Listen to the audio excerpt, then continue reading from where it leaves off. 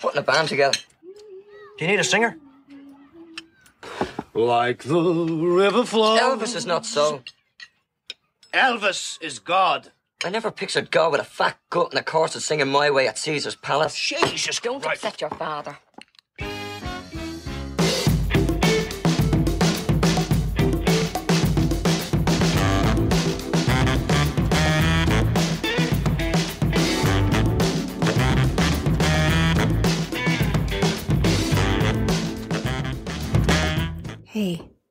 Try a little tenderness.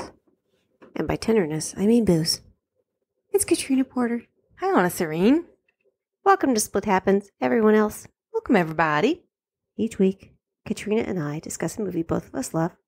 However, only one of us gets to say anything good about the movie. They're the pro of the episode, which means the other is the con and has to attack it. Our one rule is the con only has to attack during the synopsis, and if they say anything at all good about the movie during that time, they incur a penalty and will have to say something good about a movie that they hate, and the pro is going to decide which movie that is. So this week, this is my birthday. if I catch a rule break from Katrina, we're going to hear this sound. I'm in a glass case of emotion. I can't help but notice that you mentioned it's your birthday. I, I, I did. I noticed. What? I did. I said that. Happy birthday. Oh, thanks. Thanks. Disclaimer Hmm, Drinking? We've been celebrating. Yes, we really have. we thought it would be a good idea to Mhm. record. Okay, well, Back up. rewind. Hold up. We are on location Yay. At our favorite place in Boonsboro, in Maryland. We thought it would be a good idea to record Anna's favorite movie on location on her birthday at the end of the day after we've been celebrating her birthday. Mhm. yeah. We've been doing all of those things. I am very curious what you think you're going to do, what, what you're hoping to accomplish tonight. Well, I know what I'm going to do, What? and it's going to be easy.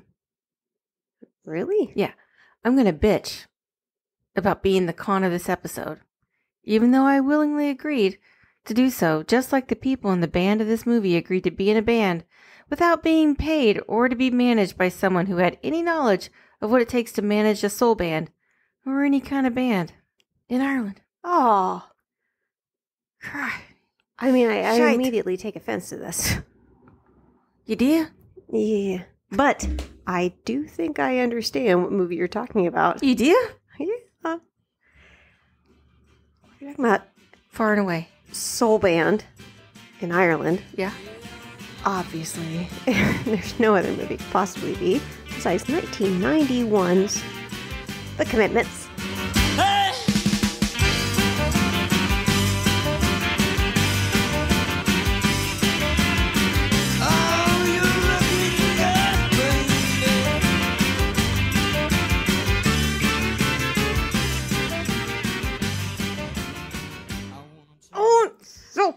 Fucking excited. I would walk 500 miles. They're Scottish. Oh, whoops. I'm just saying.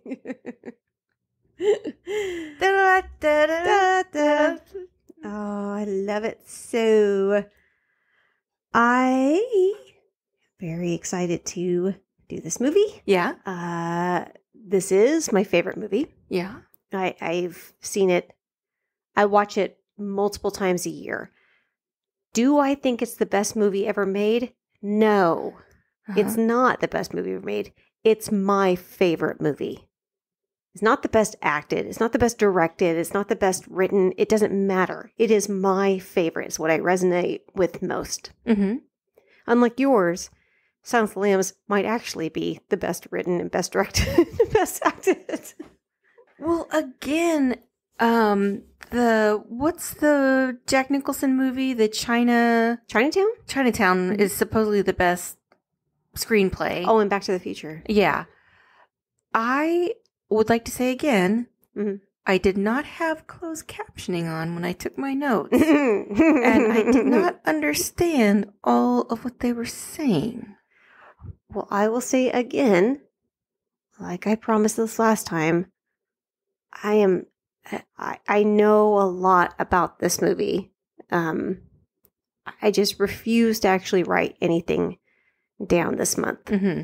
That takes work. Yeah. And I'm not going to do that. So I'm pretty sure that my facts are correct. Mm-hmm. I'm I feel pretty confident, fairly confident, a little bit confident, kind of confident. Can I tell you a story? Oh yes, please. Um, so before we went on this adventure, I had another adventure. One that was not so great Oh, at my home. oh no. And I was I had made dinner. I was home at the lake with Ty, and I had made dinner. And I had decided because we were going on vacation, and uh, we basically spend four days at a winery, that I was not going to have wine with dinner. Oh. Right? Didn't Uh oh. right? So, uh, went uh, Ty went into the other room to watch football. I think it was Thursday night or something. So, so it was there was something on basketball, something on, and um, I went back into the kitchen to do the dishes because I'm the woman, Yeah. and I stopped. Something in my brain stopped me from moving forward, and I just paused, and then I screamed, "Ty!" I know what this is. And this will tell you how this will tell you what is going on in our life right now. Because I'm scared of spiders and we live at a lake. I'm scared of but I don't like bugs. This will tell you what is going on in our life right now. Ty didn't go, fuck, I need to go kill a spider. Ty goes, Who is it? Oh no, fuck hell. He immediately thought someone had broken to our house to kill us. Well, that's a whole nother conversation. Right.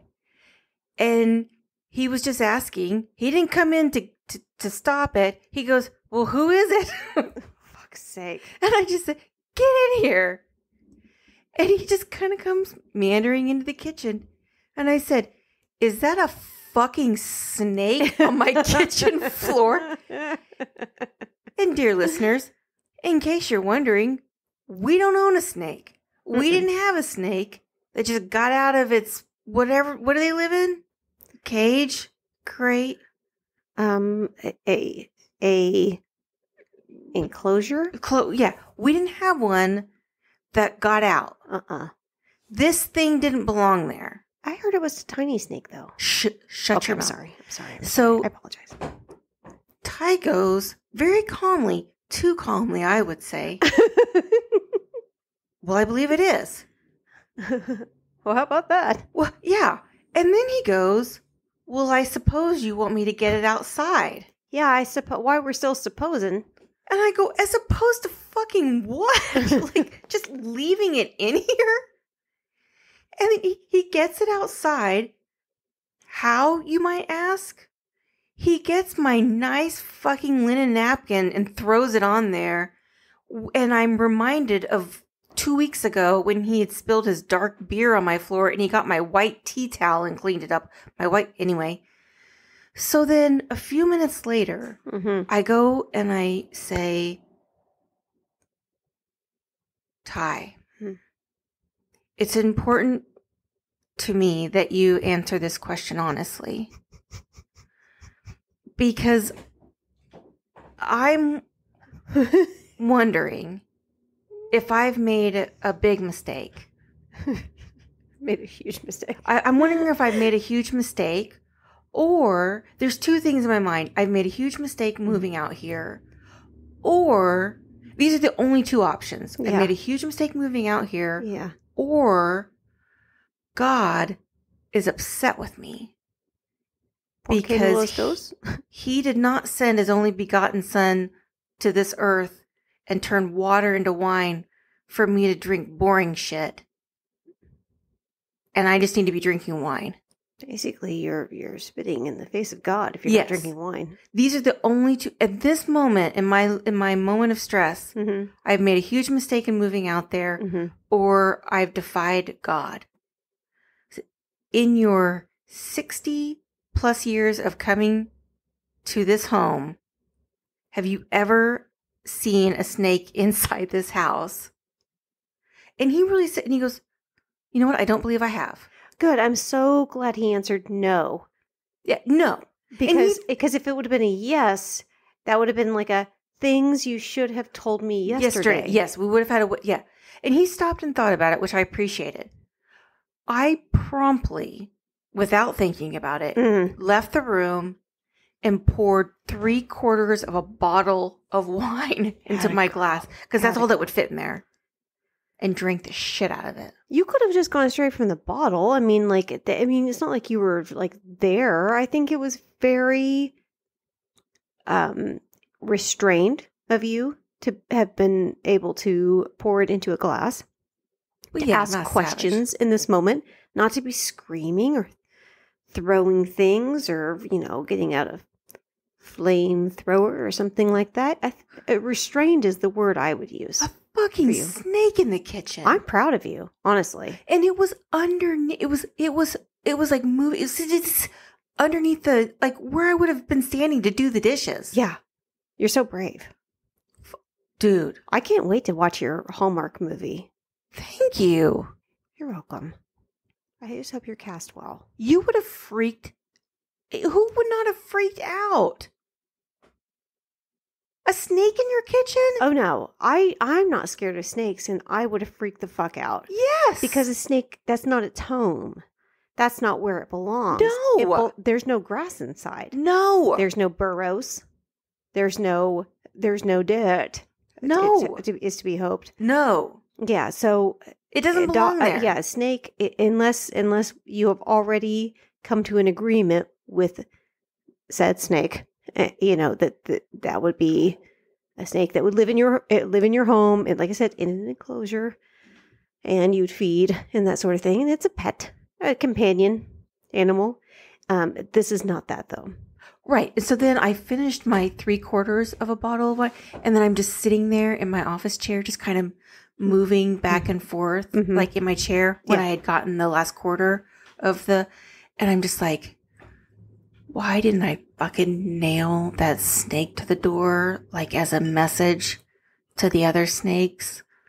Like, you fuckers don't come in here. Also, probably to ward away like warlocks and stuff, For right? all that there, that could have that could have gotten that could have warded off so much evil. like you fucking go tell your friends this is not the fucking kitchen for you But that snake wasn't you killed, right? bastards Didn't didn't he just release it back? into that's the what i'm saying i we missed an opportunity to send a message mm-hmm. once i'd had wine Tell your friends. right yeah You're a killer. right Wow, I, I I didn't know it was so dramatic, traumatic Right. for you.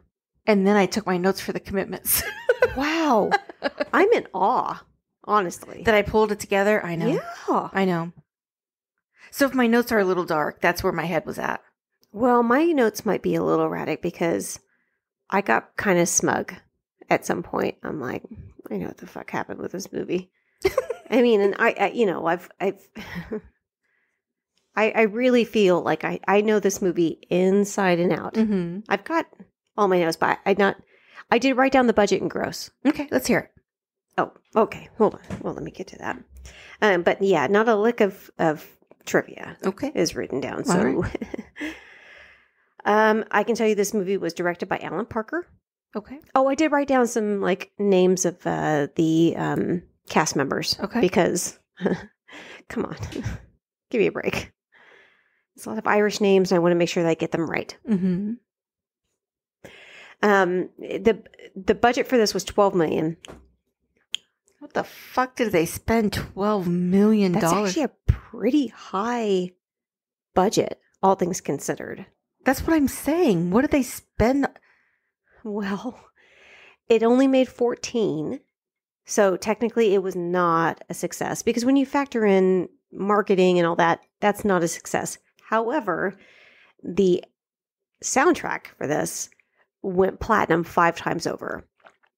So that's where they made it's kind of like in movie theaters, it's like, you know, The popcorn. yeah, you're making your money in the concessions, mm-hmm. pretty much. This was uh, based on a novel by Roddy Doyle. I believe he was a professor before. This might have been his first novel. And I think he wanted to do something about a band coming together. Uh, and he chose specifically a soul band because of how many members there are in that. He felt like the more characters he had, the better, which I agree with that. Um, Alan Parker, you would know him. Oh boy, he did. Um, uh, oh, he did Pink Floyd The Wall. Um, he did. Was that Alan Parker's project? No, that's Alan Parson. That was Kitty. I can find them actually. Can I say before we start the synopsis that the soundtrack was is fucking fire? I have a deep, deep, deep love with this movie. He also did Bugsy Malone, Oh, of which course. is on our list. yeah. He did Evita. He did Fame. Oh shit. Yeah. Okay. He really likes musicals. He Yeah. did. Okay. Sir Sir Alan Parker. Mm-hmm. He passed away in 2020. Oh. Yeah. COVID. But he left quite a few movies in his in his wake. He did a lot. But Bugsy Malone is on our list. Mm-hmm. And I'm very excited about that because the music for that makes me, it's a warm hug for sure. He, okay, so a few things about this. It was really important for him for this to be, to, to feel the realism. I think it, from when he got the, the rights to the book, he, he really wanted to do that justice. And it, it, you know, the grittiness of, of Northern Dublin in Ireland he, he wanted to capture that. So he wasn't actually looking for actors who could play musicians. Uh, He did look for actors that were able to play instruments, but for the most part, he just sent out casting calls to kind of like in the movie where he said, Any musicians, come and see. So they saw thousands of bands Hmm. around Ireland because he kind of felt like even if it's not in the same genre he wanted, you just never know when that person's going to come in Yeah. that's going to have the certain something that he wanted that that would be a spark. I'll talk about a little bit more later. Uh, yeah, so he he specifically told it quite a few times these musicians that ended up acting in the movie don't act, just kind of feel feel. So is acting the best in this movie? No. I'm so sorry. I know that's going to be one of your cons. These aren't actors. Not all of them. Some of them actually are. But um they these were all all but one in the band were musicians prior. He also rec- they also recorded all the music live. Huh. So, Did not know that. almost all. Like I mean there's some background music here and there. I'll get into that. That's kind of interesting as well. But um, for any of the stuff that you see the band performing, that's all recorded live. That's what you hear on the soundtrack. Huh. I love it. I remember seeing the the trailer for this on one of the other movies that we had seen at the time because we had family members that worked for Blockbuster. So we saw it on like VHS or something. Yes. Yeah. And I remember seeing the trailer. I'm like, oh, that looks interesting. And then for whatever reason, it just resonated with me. And I got that soundtrack immediately.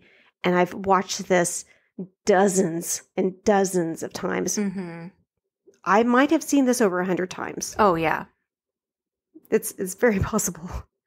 So if you're wondering why I like this movie so much, it just it just you know it's nostal it, it's nostalgia for me. Mm-hmm.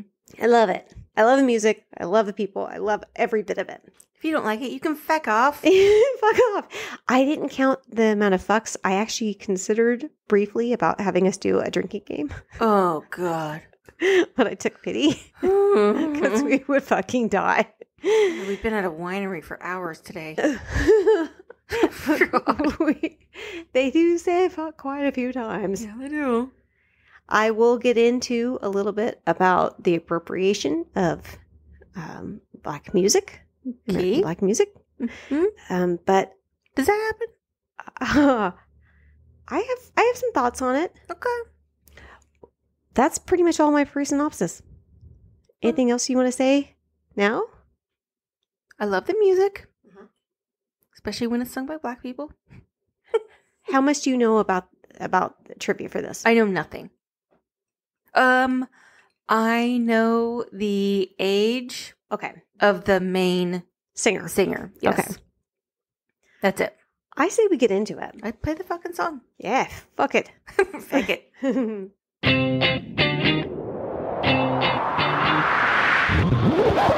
Let the games begin.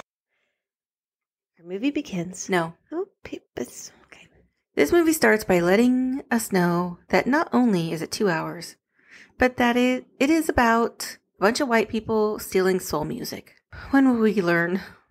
Was that in the beginning? Does it say that somewhere? It said it when in the description. Did it? Yeah. It said this this music is gonna this movie is gonna show music sung by um usually performed by black artists that are now being sung by white artists. Yeah, when I rented it.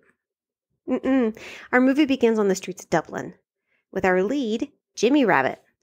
He is unsuccessfully trying to sell cassette tapes at an open market, though it also seems like he knows a bit about music and he's a pretty popular guy. And Jimmy is played by musician Robert Arkins. Robert Arkins was originally, I believe he was actually cast as Deco, which uh, is kind of closer to how Deco is in the book. Deco's supposed to be kind of a, a more handsome George Michael esque, actually. He was, Robert Arkins was, like I said, a musician. He is the one that sings that opening song. It's not Andrew Strong who plays Deco, it is Robert Arkins. Hmm. Uh, Treat Her Right is the song. Sorry, play it through my head. Jimmy has an ongoing thing throughout the film where he's pretending to be interviewed Mm-hmm. by a guy named Terry. And I've seen this so many times. There's been a few times where I just imagined that all of this is in his head.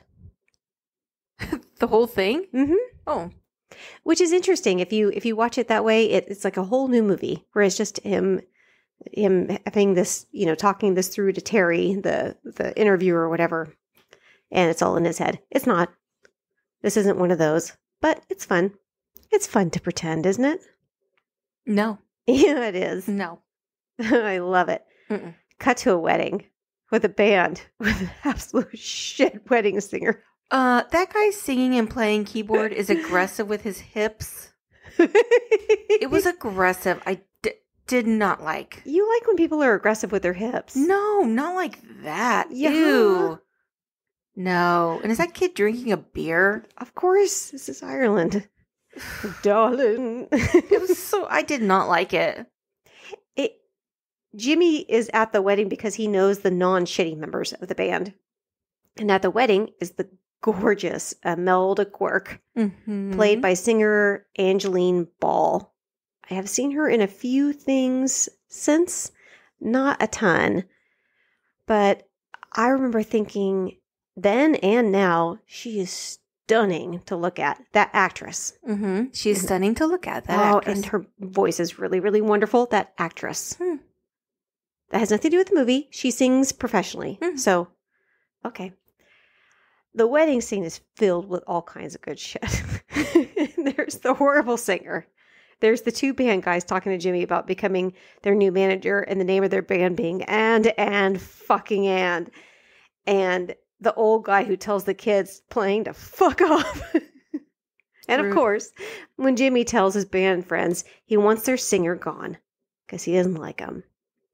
And he'd like to have the drunk guy who had got up on stage to sing along to Letters from America. I love that song. It's from the Proclaimers. Letters would- from America. Oh. Westeros, Nova Scotia. oh yeah. my goodness. I love it. He wants them to front the band. And the drunk guy with the insanely amazing voice. And I know Katrina feels like his voice is amazing. is Andrew Strong. And Andrew was just 16 years old when he filmed this. When you watch it, even still, I can't see him as anything but like a man in his middle ages. I have a few things to say. oh, oh, you do? The pregnant bride? Yeah. She's drinking a beer. Yeah. Yeah. Didn't I feel like was it Julia Roberts or Gwyneth Paltrow that said that they drank a Guinness or something when they were pregnant? 'cause they I- were told. I think when you're in like your third trimester, Yeah, I don't think this bride's in her third trimester. she's not. Right. Well, I mean, I don't know how things are done in Ireland. Well, I don't think that that's the deciding factor in in that being safe or not. I'm not here to, to discuss what other countries do in their country. Um, and when Jimmy is on the train, Uh huh. why does the kid say, "Jimmy, do you have the snuff film?" Does he really? I mean, that's what I heard him say. Wait, did he really say it? That's what I heard. Did he really say it? I don't know. He didn't say it. No, he's. They're all looking for music because he's the music guy. Mhm. Well, that's what I heard. Did you? You're willing to testify? Your face says you're a lying liar that lies in. I Liberia. heard, Jimmy, do you have the snuff film? That's all I heard. That's really what you heard. that is what I heard. And you're okay with sticking Well, with that, I don't even though have it's any obviously evidence a dirty lie. otherwise. It's a dirty lie. Oh, that's what I heard. I hope you're happy with that. Uh, they are. That's what I heard him say. They didn't say that. He just was. I, I tried to get them. That's what I'm saying. Everybody likes Jimmy. He clearly knows a lot about music. Like I said, that actor was cast as Deco. However, Mhm. there was this other guy.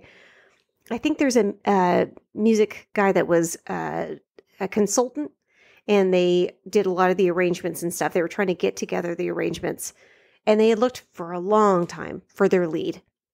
I mean, not for the lead, for the for the lead of the band for Deco, and they they found quite a few guys because, like I said, in the book, he's supposed to be kind of a you know young, handsome guy who's very vain and you know full of himself with his voice and with his looks and all of that. But here came this kid, this 16 year old kid who doesn't look like a kid and has the voice that sounds like it's been through heartache for decades. I mean, he just, his voice has so much character. It, it's out, it's outrageous. In fact, Andrew Strong even talked about how difficult it was to date afterwards. He's like, no 16 year or nobody would have me date their 16 year old daughter, even though we're the same age, because look at me. Look like a 16 year old. I mean, so What I'm hearing you say is that this movie ruined his life. no, it definitely it definitely did not. He has toured with quite a few amazing people because of it. I hope that kept him warm at night. Probably. I bet it probably did actually. he so he was he was brought in just to kind of help uh I think maybe his dad was helping with the arrangements of the music. So he had come in to I think he came in to try out as like just like a lot of bands did, just to kind of be a part of it or whatever. But he was brought in to kind of just sing background songs or whatever, or to kind of like help them with their arrangements for when they got to making the movie. And then the casting people heard this guy and they're like, don't sing another note. And he thought he was kind of pissed. Andrew Short, he's like, I prepared a bunch of songs. He's like, I kind of wanted to sing more. They went to go get Alan Parker. And they're like, wait till you hear this. And he heard, he's like, I heard one note. I'm like, this is my guy. This is my guy. And it just felt so perfect. Because again, they didn't want actors. They wanted people to, they they wanted to feel, Mm-hmm. feel, sing from your fucking heart. like that, you know. Your soul, your goddamn soul. Oh, I also want to mention one of the guys in the band that is one of Jimmy's friend is Academy Award winner Glen Hansard, who did the song for Once, which is a beautiful, beautiful song. Hmm. Also a great movie. So watch that. Jimmy tells them the music they need to be playing is 60s American soul because that music best represents something that they were already familiar with in Northern Ireland strife, desire, plight, soul. Soul music is about soul, it's about love and hardship and all kinds of things that, the whole, that is quite universal. And that's an easy transition for what was going on in Ireland, specifically Northern Ireland, during this time. Things were fucking grim in Ireland during that time. Mm-hmm. And here's a music that resonated, that felt real. It wasn't pop. Pop doesn't speak to them. All of these other musical styles don't speak to them. This speaks to them and what they're going through at the time. That's what I have to say. Okay. I love every second at Jimmy's house. His dad is played by Colm Meaney. I remember him very well from Star Trek The Next Generation, but he's been in a million movies. Yeah. And I adore how much he loves Elvis. It does make perfect sense that the dad is singing Elvis given the theme of this movie is people who steal music. oh, that's Elvis did steal quite a lot of music. Wow. I, them, those are fighting words. I'm okay with this stealing. It's it's a difference between appreciation versus appropriation. So that's a discussion for people that actually know what they're talking about, which I don't. All I know is I love this music and I don't really love Elvis. When Jimmy is in the bathtub talking to his rubber ducky, Yeah. why does he say, I knew from the beginning we would fuck a pig? That's illegal. Uh no, he did not say that. Oh, you did. did. not use closed captioning. Okay. I think he that think He said what that he knew we were, they were going to be big. I that's not what I heard. I he said we would fuck a pig. No, he says, to be honest, Terry, I knew we'd always be big. That's not what I heard. That's definitely what he says, though. Mm-mm. Prove it. Use closed caption. No, actually, this I wasn't better. allowed Oh, to. that's true. Jimmy put puts an ad in the paper to get members for the band, and it attracts a wide array of performers. Again, exactly like what Alan Parker did. Mutants at table seven, am I right? All are welcome. You know, like I said, they saw like thousands of bands. They put quite a few, obviously, in the actual band itself, but a lot of a lot of them that kind of made an impression but weren't able to make it into the band are people that you see throughout the movie, whether or not they be in the audition scene or in the audience audiences, you know, throughout the movie. There's quite a few. Um, it, w- it was fucking neat. I love actually all of the auditions. I like when the um, like when there's there, at one point you hear like the Irish like dancing music and the sisters and the mom are all dancing in the background. I think it's cute. I can't believe what was that? Nothing. You thought it was cute too, didn't you? No, I scratched. Your face said, yeah, hmm, yeah, that was no, cute. I was thinking about pasta. I can't believe you haven't brought up how what a strain that would be on somebody's house to bring in a bunch of auditioning musicians. It would be. They seemed okay with it. That's inappropriate. they were all And did- dancing along. and did Jimmy ask? He told his dad when he got the No, paper. he told. He told his dad. He didn't ask his dad. No, his because he knew his dad liked surprises. His dad does not seem like his dad likes Elvis. He doesn't like surprises. Sure, he does. A lot of people were surprised when he died. uh, by the way, Jimmy's sister, the older one Mm-hmm. that you see in the movie, Mm-hmm. she is actually quite famous as well in Ireland. She is a member of the Irish band The Corrs. Oh, I do know about the Corrs. They're a family band. oh, oh. She's one of. Wait, what was that? I'm sorry. Were you singing Enya? no. Oh, okay. Just making sure. Okay. Jimmy's house audition scene has so much to love, but easily my favorite part is the band singing the Elvis song in the bathroom. like, Elvis was a Cajun. He had a Cajun heart. Had to move down to Memphis. Cause that's where he got And Jimmy's dad is having none of it. No. Fucking blasphemy. Elvis wasn't a all Cajun. that time and great friends in Vegas. Where he got She's That's like, disrespectful to Jimmy's dad. this is fucking blasphemy. Yeah, This wasn't a Cajun. Oh, I love it. Oh, I really like the guy that comes up and he's like, you know, what do you play? And he's like, well, I used to play football. And he's like, no, what instrument do you play? He's like, I don't play an instrument. He's like, what do you hear? Well, I saw everybody else lining up, so, uh, I thought you were selling drugs. yeah, that's disrespectful to Jimmy's family. How many times are you going to say disrespectful? A lot. Oh. That's putting them in a precarious situation. There are children around. yeah, that's, I mean, the guy was real nice, he seemed like. He was just looking for some drugs. Oh, yes, a guy just randomly shows up to the house looking for drugs. That's safe. By the way, so there's the skateboarding kid that Uh-huh. you see come up when Jimmy's in the bathroom being interviewed again by Terry, Mm-hmm. the Mr. the imaginary guy. Yeah. Uh, that kid, not a real musician, I don't believe, but he was on U2's, um, famously on U2's albums of Boy and War. He's the kid that's on those on U2's Oh. biggest albums Uh-huh. by far. He's a skateboarding champion. Uh-huh. But yeah, that's that kid right there. How about that? That's How awesome. about that? I love that.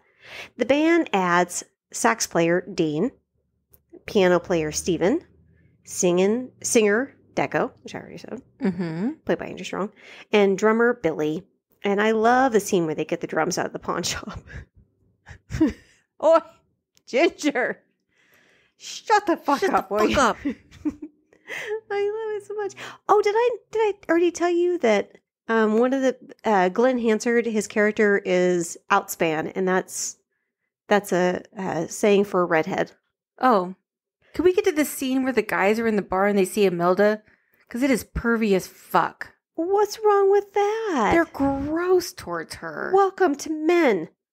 Well, it's why can't anyone represent anyone that's not gross in this? These are all men in their twenties. You're saying men in their twenties aren't like No. whoa hot woman alert. This is not all men in their 20s. We'll get to that in a minute. These are all men in their twenties, Uh no. except for Andrew Strong, who's actually technically sixteen. Right. And then what about the trumpet guy? He's not in this part. Okay. So Joey the Lips will show up later. Okay, so Jimmy's recruitment strategy is to go to a food cart, say didn't you used to sing in church, uh-huh. want to join the band, and also bring Imelda. well that was his whole that that was the whole point was he was like i know what these guys like. They want imelda. I know how to get into her. Jimmy is smart. Jimmy's a hustler. Jimmy knows what to do. That's a, he's a very good manager. That's kind of shitty to do the redhead, though, right? which redhead The food cart redhead. oh bernie Yeah, well he says that she's a great singer too but also, but she he makes it clear to her why he's talking to her because he wants her to bring Imelda. He's not talking to her because of her voice. He she's wants like what the fuck they want imelda for just fucking tits and asses right. Yeah, I mean, he's she knows. well he says you know you've got a great voice also coincidentally Right. He You wouldn't be happen to talking to her if it wasn't for Imelda. Probably not, but how serendipitous. That is Bernie. His friend Bernie is played by Bronagh Gallagher, and she has been in a bunch of movies. Uh-huh. She was in Star Wars, The Phantom Menace. She was uh, in there very briefly. She's like, shields up. And then as she's saying up, they, they all blew up. Mm-hmm. Um, but she's probably most well known for, she was in Pulp Fiction. She's in the scene where um, Uma Thurman is having the overdose. Yeah. And they have to go to the drug dealer's house, which is Eric Stoltz, yeah. and his girlfriend is Rosanna Arquette Yeah. with all the shit in her face. Uh-huh. And she's the other one. She's the friend Oh. that's in that. Huh. Yeah, that's her. She's been in a bunch of stuff, but she also was a singer and still does sing, I think, at the time. Hmm. And uh, she, Bernie also wants to bring her friend Natalie, who was played by Maria Doyle Kennedy, and also an amazing fucking singer. Hmm. My favorite of the trio by far. And I guess, I mean, I think she does a lot of sing, or she obviously she's a singer, but she's done a lot of acting since then. But she's most well known for her turn in Downton Abbey as that evil bitch the what's it, the what's the butler's the butler that ended up having to go to prison because his wife that was his it was his wife. Yeah. Oh, she was mean. Yeah. Hated. Hated. Oh, but she's wonderful in this. One more person is added to the band, and that is the much older Joey the Lips Fagan. Um, I like that you're skipping over the part where I like it too. they um where Jimmy's like like they're like blatantly watch James Brown and they're like do that which they clearly don't do based on how they dance later. Well, they're not capable of. Nobody can be James Brown. He just says he doesn't say do that. He says this is what you've got to measure up to. Well, that's that's a bad manager. It isn't. He's telling him to, he's trying to give him he's you know a shoot for the stars. I mean, but the, unfortunately, the stars are unattainable. But he still wants to give them something to reach for, which is James Brown. I believe nothing the trumpet player says. Nothing. And his hair terrifies me. Joey the Lips Fagan.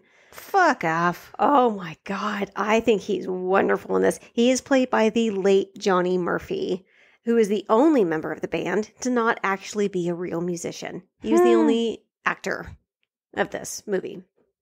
I mean, not of the movie, but of the band. He's the one that didn't have any musical experience before. He is, uh, but he's an actor. He is great. He's so great. Well, as someone who has recently been spoken to by the Lord on high, Yes. Yes. I don't like it when he said, The Lord blows my trumpet. That is blasphemy. the Lord told him what to do. He talks about the Lord quite a lot, actually. I don't like it. He feels like the he said the Lord told me that what Dubliners need is soul music. He says this is this is the fact is is that Joey the Lips Fagan, which I guess he earned from his trumpet playing, although considering how much pootang he gets in this movie, it might have Right. been from something else. But he that's the thing is you don't quite know until the end of the movie you get kind of a, a mm, not even a definitive answer you get more of an answer of what is true from him and what isn't Mhm. you don't know what's bullshit and what but he just says he's he's been with he toured with a lot of famous people but it's clear he actually knows what this music is which speaks to jimmy. He's like ching and he also seems to have a good understanding of the music industry which jimmy does not. So that's also really really handy. The makeup on his mom reminds me of Maria Bamford. oh my god his mom. Baby, I told you what a gift now, she would be. mama. I love her so much. Put my lipstick around my mouth. At Joey's house, the band is officially formed and they get their name, the commitments. And of course, you meet Joey's weird mom. She is a gift. Where did they even find her? I didn't look it up. I don't want to know. I think she's related to Maria Bamford. I hope so. I love Maria Bamford. That's a pro. Um, That Did- sounds like a pro to me. no, it is not. It isn't. It wouldn't be a pro to be related to Maria Bamford. I'm gonna tell you you Dude, this lady is nuts. Maria would love that.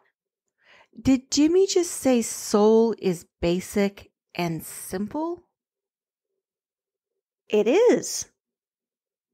Soul music is basic and simple. It it fits it it it, it hits you at the at the at the core, the base of what everybody understands. It's not a complicated music. They're not singing about complicated matters. They're singing about something that is universal: love and loss and hardship. But I think I I think that those things are can be very complicated.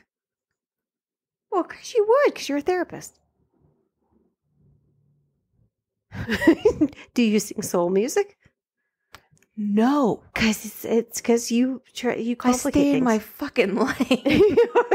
yeah, neither do I. Because I overcomplicate things. Where are all the redheads? Is this movie even actually set in Ireland?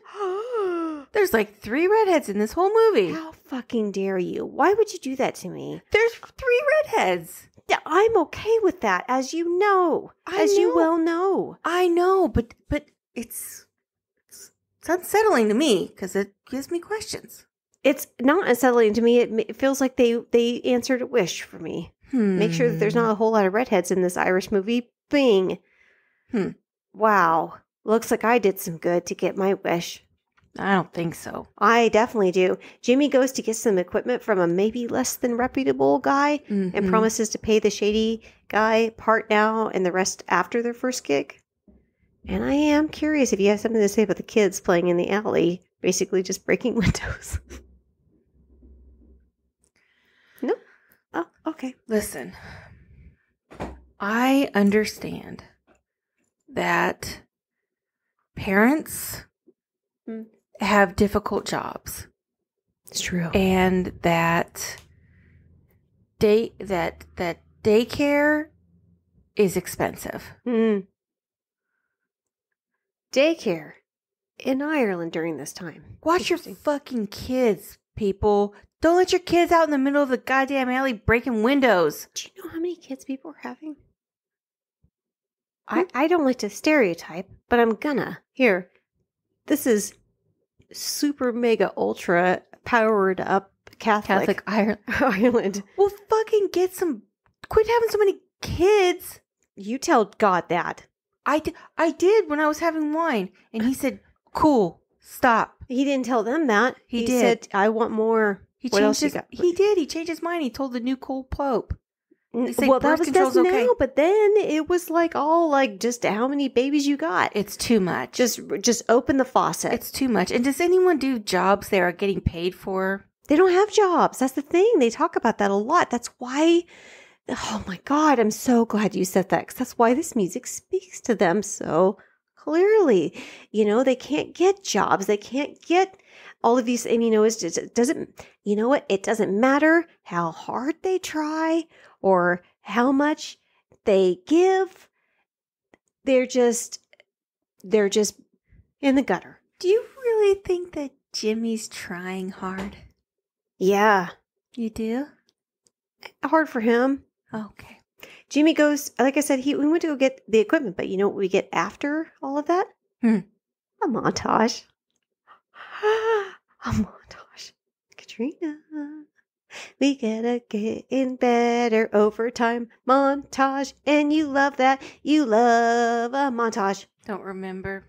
You don't? No. You don't remember like when they were like, keep playing, and then they're like, you know, um No, I remember some fucking creepy mannequins. I wake up feeling sorry I met you. No, are we at the creepy mannequins? Maybe they find a space to rehearse above a pool hall. Creepy mannequins, then we are definitely there. It's, they can't help that. They go to where they can rehearse. And you know, I love dorks. I love dorks. Mhm. But Yeah. are the three dorks the best people to be moving the piano up the stairs? Well, who else is going to move it? Not the dorks. What about the 16 year old with the good back? You think he's going to help move things? That guy's lazy as fuck. What Deco the- doesn't care about anybody but Deco. What about Jimmy, the 16 year old, the saxophone I guy, already, I already answered the 16 year old, and they're carrying other equipment. and. Billy, the drummer? They're carrying. He's carrying drums. They're carrying. They have. You know what? This is a massive band. They have a lot of equipment, Okay. and so they've got a lot to bring in. Uh huh. Okay, go ahead. Let's keep going with practice. They do find a space to rehearse above pool hall, Mhm. and it is a little rough at first. And how much I like a movie about a band that starts off bad but then gets better. Uh huh. And would you, when you say starts off bad, Mhm. are you talking about ride, Sally, ride? They were using their accents, and he says, "Don't sing like that." You sing with American accents. Ride, Sally, ride. Instead of Roy, it's Sally, Royd. And they respond with ride, Sally, ride. No, they did not. They said, "Right, Sally." Right, they they got it figured out. These feels- girls are pros. It feels very weird that these grown ass women are joking with this teenager about him whacking off. He's not a teenager in the movie, though. It's very weird that these grown ass women are joking with this teenager about whacking off. It isn't because this movie is this part is taken directly from the book. It's not their fault that they cast a 16 year old. He is he's supposed to be in his 20s. He- I mean that's that's kind of the whole point. Is he's he's really unlikable in the book. By the way, Andrew Strong said that they, he had to eat so many of those goddamn cream puffs. He's like, I couldn't. He's like, I. He's like, I was just puking after every single take. He's like, I had. He was- I must have eaten thirty of those. I will say, in all honesty, the fact that I knew that he was a teenager, it did legitimately feel a little weird to me. That's your fault. so it's your fault. That's not. But you would never. I. you look at me with your vampire eyes and tell me you could have ever, ever in a billion years guessed that that guy was sixteen. No, there's nobody. I still can't look at him and think he's 16. It doesn't make sense. I can't recall my memory prior to my knowledge.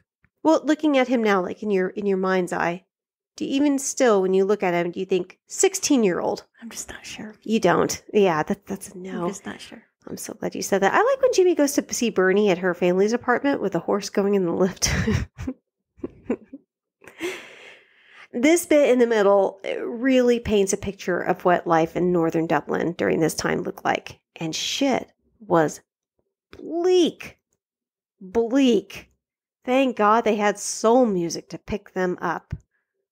Oh, wow. How inspirational. Wait, I also think there was a part in there where the the conversation between the trumpet liar and the sax player, and they were talking about nipple talk.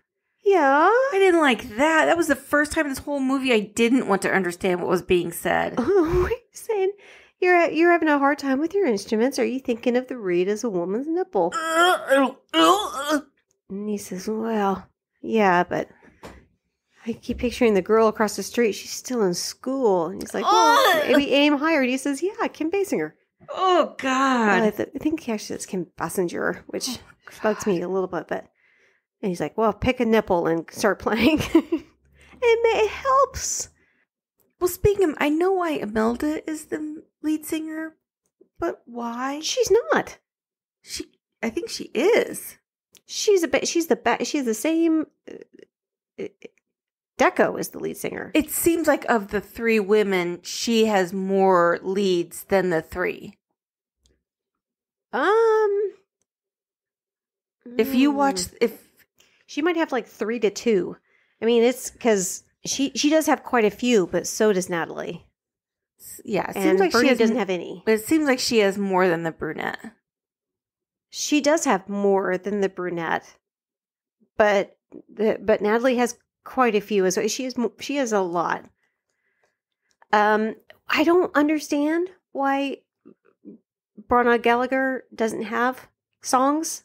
She never leads a song, and even the, there's a couple of songs that are on the soundtrack that aren't um, Imelda's or Natalie's or Bernie's. It's another singer entirely. I don't know why. I, I looked it up, but I just couldn't get a clear answer. Mm-hmm. I assume it's another person that was that auditioned and was great, but didn't make the cut. Mm-hmm. But again, like I said, uh, Bronagh Gallagher, she definitely does sing. So she she sing quite well. I just I don't know why she never got her Hmm. own songs. Well, I don't know. Uh, when they're practicing is when we first get a glimpse at the trouble that Joey Lips is going to be causing with this band. I don't believe a fucking thing he says. I love the discussion of Natalie making out with Joey because those ladies hit the girl code fucking fast. right? you said yes. You you shook your head yes. I didn't say a f- fucking thing. You shook your head yes. No, I didn't. Yes, you did. No, I didn't. I had a seizure. No, you you did. No, I didn't. You My shook your head yes. around my neck. You shook her head yes. No, I yeah, didn't. they, I she burped. did. She she hit Did you that hear it? girl code fucking Did anyone fast. hear it? I said nothing. the guys are making fun of of Natalie for making out with Joey, which doesn't matter if it's gross or not because her two good Judys are on it immediately and they're like, "Who cares if she's making out Who cares? That doesn't last that's her long. business. She can do whatever she wants. You'd make out with Joan Collins and she's 50. You'd make out with Tina Turner and she's a granny. And they said, no, I wouldn't. And do She they- You would so. That doesn't last long. What? The girl code. Well, that's because of Joey the Lips. Because he's a feckin' gross liar. Yeah, yeah, yeah. The band's first gig is at a community center, and it's sponsored through the church for their anti heroin campaign. And the first concert is fantastic, but most importantly, we're about to get my absolute favorite character The bouncer with Tourette's. of the movie, Mickah Wallace, played by Dave Finnegan. And I've watched his uh it- it's not even an audition. He just had like kind of a one-on-one with Alan Parker and Alan Parker is clearly trying to get under his skin and the guy Dave Finnegan was not picking up on that it was that what he was trying to do. He just got and I thought they were going to come to blows. Seriously. It was kind of like, a, how about I beat the shit out of you? I'd like to see you try. Maybe I'll beat the shit. I mean, it was like that. And then at some point, Alan Parker's like, I was just testing to see how far I can get you. He is brilliant in this, and he is a musician. This is his first movie. That's the bouncer, right? Yeah. Okay. He's so goddamn funny. I've never seen anybody that's like naturally. He's just one of those people that is just naturally funny, like Jason Mewes from from you know Silent Bob, Jay and Silent Bob. He just is naturally funny right out of the gate. He's very very good. He's like one, two, and just smacking his head. Ah, it's a good mic. the concert starts off a bit rough but they're clearly really, really talented, and the audience do love them. And I like the little fucker that keeps messing with the soundboard. I do want to point out that prior to the show starting, Yeah. Jimmy did call the commitments the saviors of soul. yeah. Well, I would say that this is set in the 90s, and 60 Soul was 30 years prior. So I think he feels like Saviors of Soul means like he's they are carrying on the tradition of soul. And it needed to be saved. it needed to be carried on. And they were able to bring soul music, which is American, overseas to Ireland, Mhm. where a lot of people that were going through a lot of difficulties that could probably feel some connection to this music had never heard. Hmm. That sounds pretty great. Hmm. the concert starts off a bit rough, but it ends with Deco fucking up and accidentally electrocuting the bass player. Well, you were talking about the kid. If I was the parent of the kid that Jimmy was knocking to the floor, I would be busting his fucking ass. Both the kid and Jimmy. Nobody would have been busting Jimmy's ass. Uh, For- for- yeah. No way. Not here. Not with these people. No, absolutely not. Their kid was was fucking around, and they that kid would have gotten beaten with an inch of his life. He's lucky that all he got was Jimmy. And they don't seem to be taking the fact that they electrocuted their bandmate very seriously. Well, they're in the hospital with them. Oh, I love that scene because they talk about the different people that have died. Music, But they're kind of flippant about it. vomit, vomit. Yeah, drowned. Oh no, he drowned. He drowned. Are you saying that whenever there's trauma or things that are difficult, that you and I don't immediately start talking about things that are inappropriate? Not immediately, not always. Not always. You need to be living your truth right now. No, I'm saying not always. They didn't always. They were. I mean, they they weren't doing it right away. They were they were there for quite some time. I bet. Hmm. Well, Maria Bamford playing the violin is disturbing. yeah, the the grand the mom, she's fucked up. I really love when Joey is telling his obviously bullshit Elvis story to Jimmy's dad.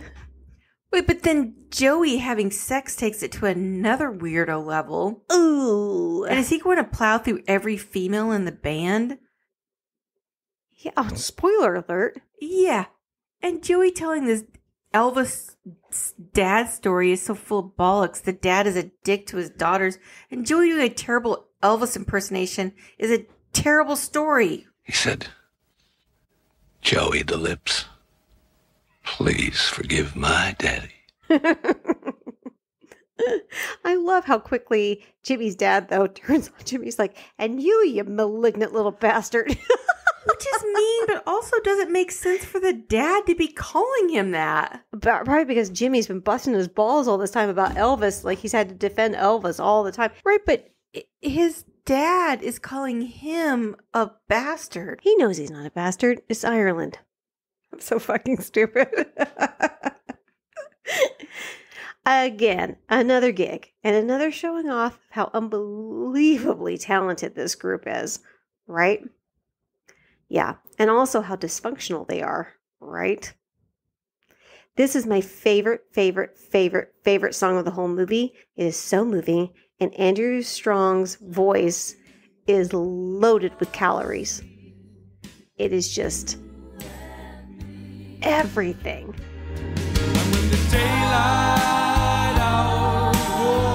Around, and by chance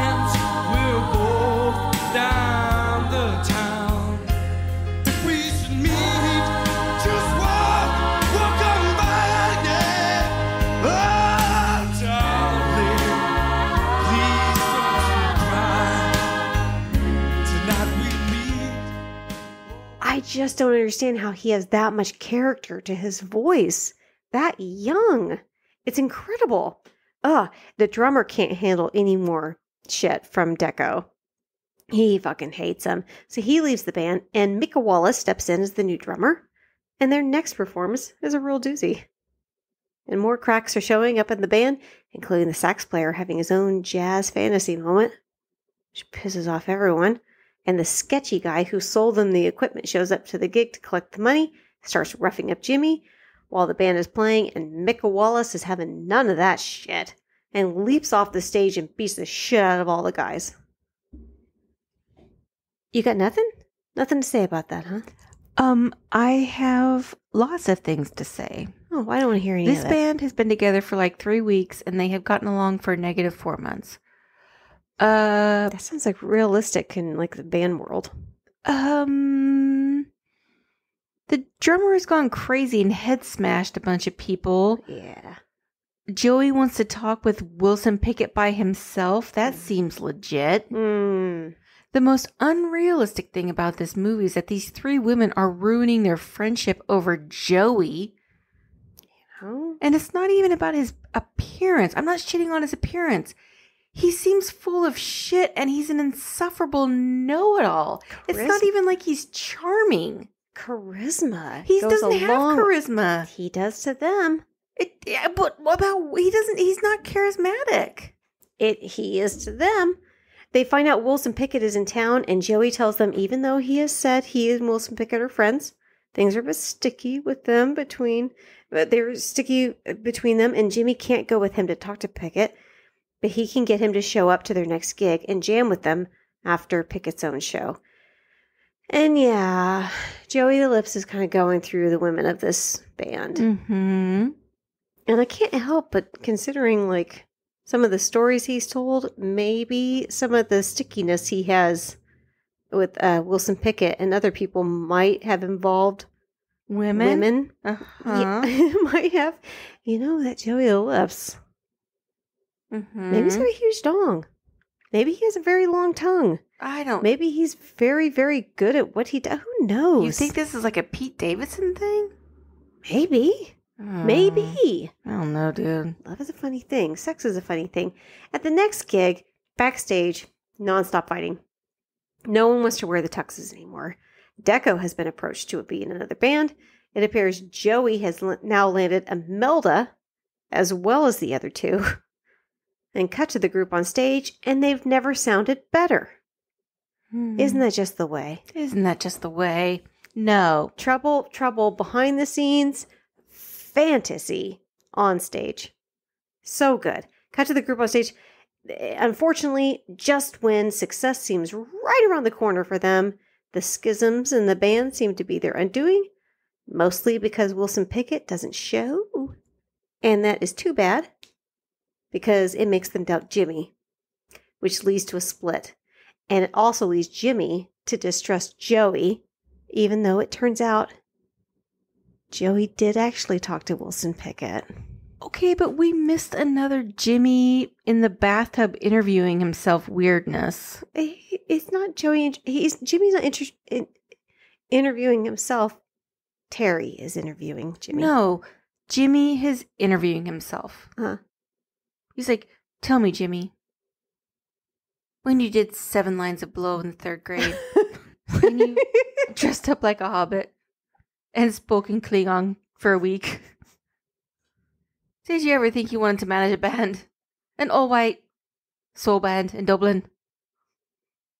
That's what he said. Where are you going with this? That's what he said. He didn't say any of that. That's and what he said. I want you to retract it right now. No, he said seven lines of blow, third grade, dressed up like a hobbit, spoken Klingon for a week, all white band.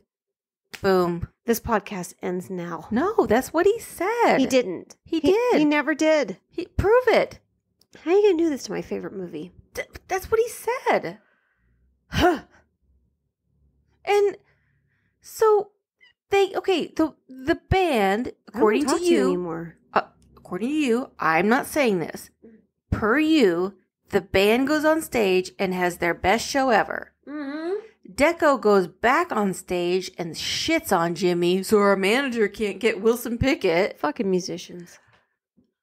Judging by watching the band, Mm. they didn't watch the James Brown videos at all. They lose their mind and beat the shit out of each other. Right? Yeah. And that Jimmy tries to sell some bullshit about this being the best thing for them that they didn't get famous. Joey? Joey, Uh huh. right? Because he's full of crap. Okay. Do you want me to answer? Yeah. Well, here's the thing. I would say this band was never meant to be famous. That's that's not what this is about. this it, it it's it was never about success. It was about bringing each other up, having something to hope for. Like uh, Bernie said, I, I need I need something to look forward to. I just I need something to to hope for. That was kind of the point, which goes along with soul music. It's not about succeeding. In fact, a lot of soul music is about heartbreak. I think we talked about this a little bit. Having that many members in a band was never, ever going to work for them. How were they ever going to make money? Having, you know, all of this inexperience and all these things, it was never going to happen. I think it's beautiful that it didn't. And I love that they showed that Wilson Pickett was like a real thing because it gives you a little bit of like, is Joey actually truth telling? Because sometimes it looks like he is. I think most of the time he's full of shit. but it was it was never going to happen for them. And it was just having this experience in this moment in this time is what pushed them off into the things that they were meant to do. That's my answer. How beautiful, right? Well, Jimmy's interviewing himself again. If you want to cry, you can cry. I understand. So, Jimmy, in sixth grade, when you got into black tar heroin with no E What? and dressed up like Margaret Thatcher, is that when you decided that jazz was shite? You have to admit, there are not a lot of super likable characters in this movie. I think there are. I think there are. Natalie. Natalie is wonderful. I think the dad is really, I think the Jim, Jimmy's mom is incredibly likable. I think I actually really like Jimmy too because I think he try, he really does try. He wants them to be successful. I think Outspan and the bass player, I think they're very likable as well. Oh, I love the piano player he doesn't do a single bad thing to anybody the entire movie. He's kind of hilarious. Actually, he and the priest that show up, he's like, when he's having confession, he's like, I, you know, I used to sing hymns all the time, but now I'm always singing When a Man Loves a Woman by Wilson Pickett. He's like, Percy Sledge. Percy, I have the album. Percy's Let's Sing that one. I think there's quite a few. Hmm. I think that there are probably a lot of pricks in music. And this shows that even at its basic possible level, in in the lowest of the low in Northern Ireland where they're not making any money, it doesn't matter. There's plenty of talent, but ego re- reigns supreme. Hmm. Right? I'm not saying anything. we do find out we do get a where are they now type of thing and it's kind of exactly what you would expect i mean bernie does end up in a country and western band and i'm pretty sure the other members of the country and western band are also part of the Corrs. oh, right and uh, deco gets his own recording contract and it's he's exactly what he's just all ego all ego and he seems like a bit of a prick and uh, Milda gets pregnant and gets married, and that feels a little bit like a realism as well. And I love that there's a little bit of ambu- ambiguity mm-hmm. between Jimmy and Natalie because they seem to have a connection, but Jimmy, being the, the consummate professional that he is, didn't want to bring relationship into it to his, you know, credit but and he's saying maybe you know I, I we're we're pretty fond of each other. That's all I'm going to say about it. And then he ends it with, you know, we skipped the light, fantastic. Turn cartwheels across the floor. I was feeling kind of seasick, but the crowd called out for more. And Tim- was Terry says, "Oh, that's quite profound, Jimmy. What does that mean?" He's like, "Fuck if I know." And credits. It's done. Yes. It's over now. The end. And the end of the movie. You didn't get a button push, bitch. Oh shit. I understand. I feel like you went easy on me because this is my movie. I didn't go easy on you because this is your movie. I get it. I get it because I can see both sides of it, honestly. So I didn't want to just be a dickhead about it, honestly. Quite frankly, it is a difficult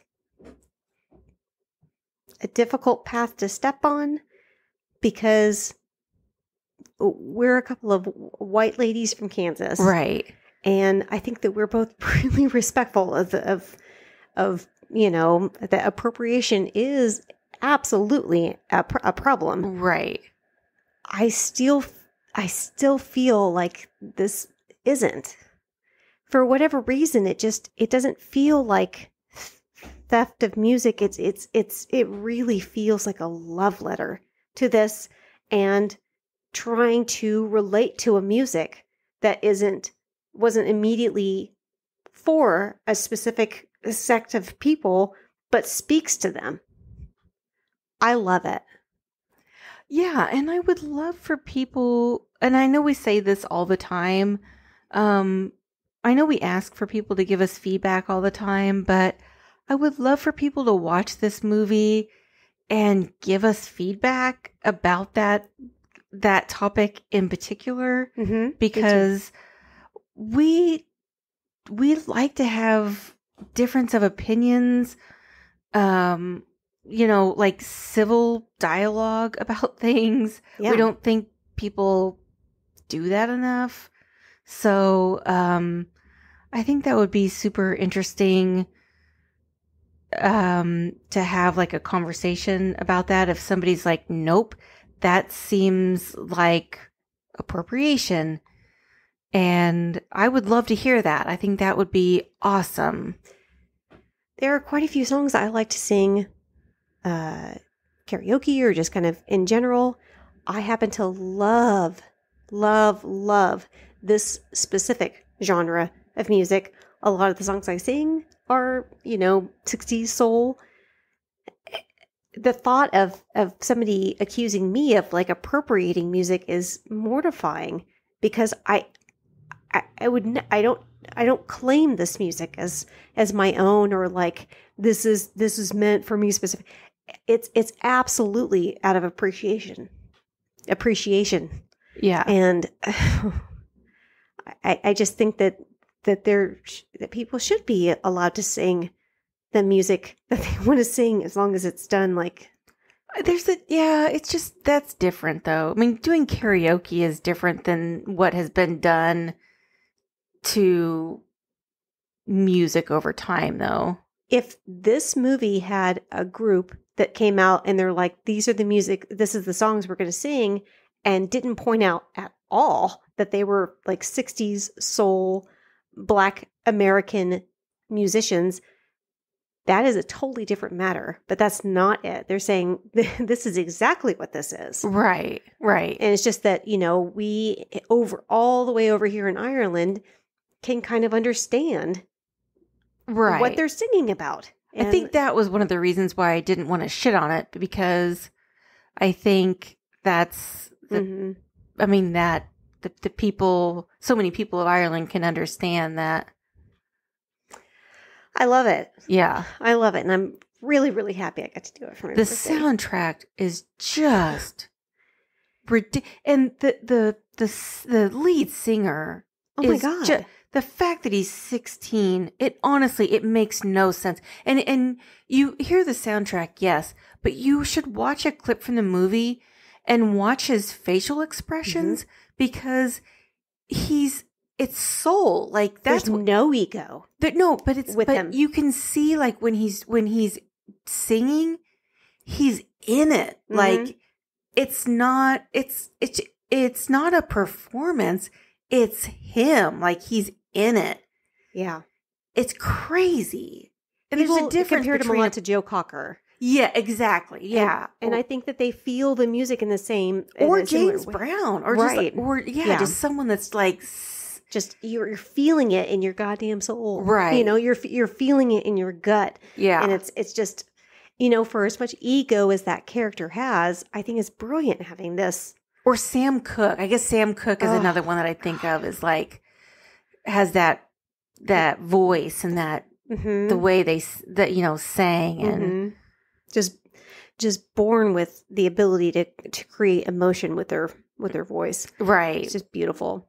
Nat King Cole. Yeah, I am dying to hear your happy ending. Am I going to cry? no, you're not gonna cry. You had your tear ducts removed, you silly goose. Fuck. I am fucked. I can tell. Okay, and I'm just gonna read my notes. Mm-hmm. Like we have said, we are in the month of November. So my happy ending is Anna Serene. God damn it. I fucking knew you were going to do this. Anna was born on November 11th, 1978. And I will let you do the math as to how old that makes that creaky bitch. Shame on you. She was born under a full moon Uh-uh. and delivered by a stork after Katrina cast a spell asking for the perfect sister.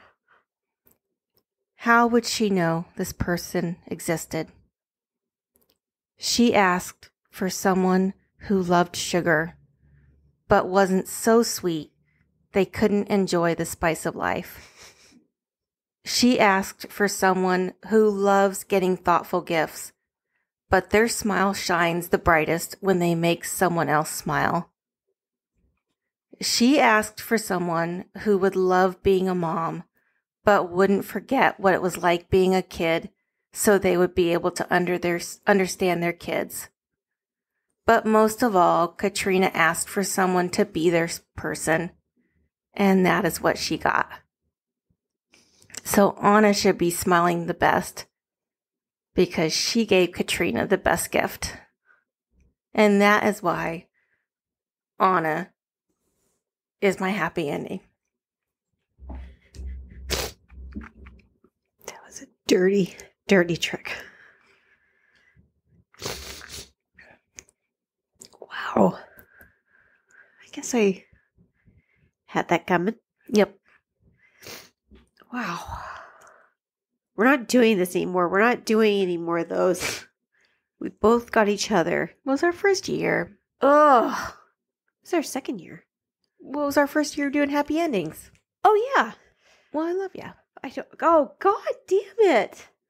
And I love doing this. And I couldn't be doing this without you. So hmm. happy birthday. I don't know. I don't know. I'm gonna go drink about this. yeah, let's do that for sure. I'm gonna try not to feel feelings anymore. Yeah, don't do that. Well, until next time, Katrina Warrior. Bye, Anna Serene. Bye. Bye, everyone. Bye, bye, bye.